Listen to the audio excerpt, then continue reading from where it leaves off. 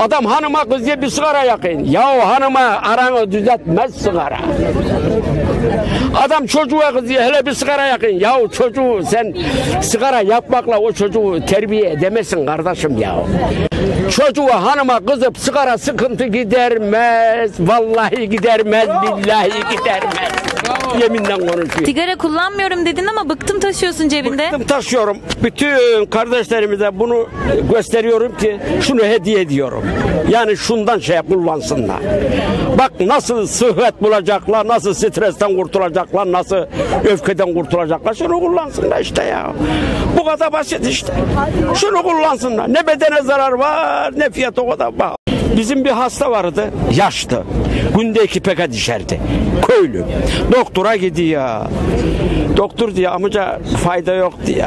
Ya bıraktım sigarayı. Ah amca sigara seni bırakmış. Sen elden gitmişsin dedi. Seni, sen sigarayı bırakmamışsın. Sigara seni istesen de istemesen de bırakmış dedi. Sen bırakmamışsın. Ben sana haniyendi bizim hastaya. Aynı köylüm ha. Vallahi bak Ali dayı diye birisi. Doktora gidiyor kanser oldu gitti Allah'ın geçinde. Cenneti mekanı cennet olsun. Doktor öyle dedi. Amca sen bırakmadın bunu dedi. O seni bırakmış dedi. İstemesen de istesen de içemiyorsun gayrı. Çünkü bir faydası yok. Neymiş acaba ben de kurtulmak istiyorum bu illetten. Şey işte tozdan kullanacaksınız. Sigaradan kurtarma tozu. Ha şimdi. Şundan yutacaksınız. O kadar. Ondan sonra sizi nefret ettirecek o zehirden. Süleyman amca senin için sigaradan öldü diyorlar. Ne düşünüyorsun bunun hakkında? Vallahi sigaradan öldü diyorsam vay halime benim. Ama canlıyım. Bu sigara e, e, ne diyor? Sağlığımızdan, gençliğimizden soracaksın diye Cenab-ı Hak. Bu vücut bize bir emanet.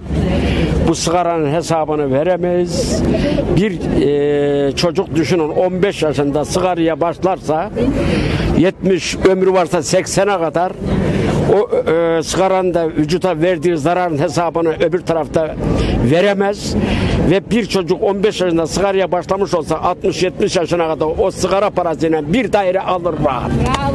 Bak bir rahat bir daire alabilir. Süleyman amca bu nerelerde satılıyor? Bu internetten de alabilirler. Eczane, aktarlarda istediği zaman bulabilir kızım. İstedikleri zaman bulabilirler. İnternetten de şey yapabilirler. Alabilirler.